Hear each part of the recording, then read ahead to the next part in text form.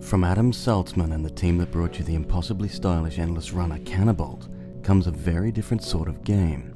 As its title implies, each level of hundreds tasks the player with obtaining 100 points by growing bubbles. As their size increases, so does their value. You tap and hold on a bubble to grow it, and as it's growing it turns red. Unfortunately, if a bubble collides with anything else on the playing field while it's red, you die and will need to restart the level.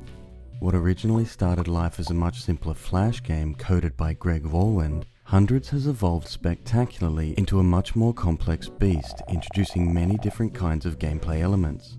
Bubbles that stop moving when you tap them, spinning saw blades that reduce a bubble to zero when touched, bubbles that you control and can move anywhere you like, permanently red bubbles, and negative bubbles that you'll need to zero out to make your chances that little bit better.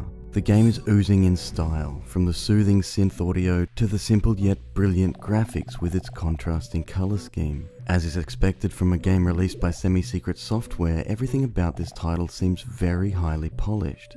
When completing a specific level in each set of 10, you'll be presented with a riddle, the first of which is, a mouse has one snout, but a hand has five. Subsequent dialogues in this emerging narrative are scrambled, so you'll need to fight hard to reveal the game's secret, and boards quickly start to require careful planning, timing and finesse to complete.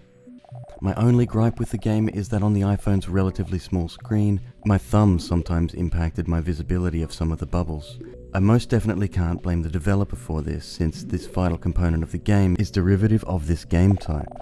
On the plus side, however, Hundreds excellently implements multi-touch support. Some of the levels require multiple digits from each hand simultaneously growing moving bubbles before running into saw blades.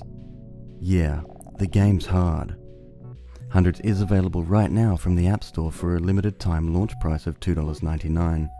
The game will increase in price when the next update is released, so pick this one up today.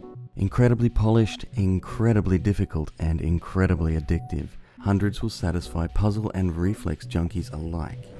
Thank you so much for joining me today for another episode of Alex's iOS game reviews. I am Alex, and I'll see you again next time.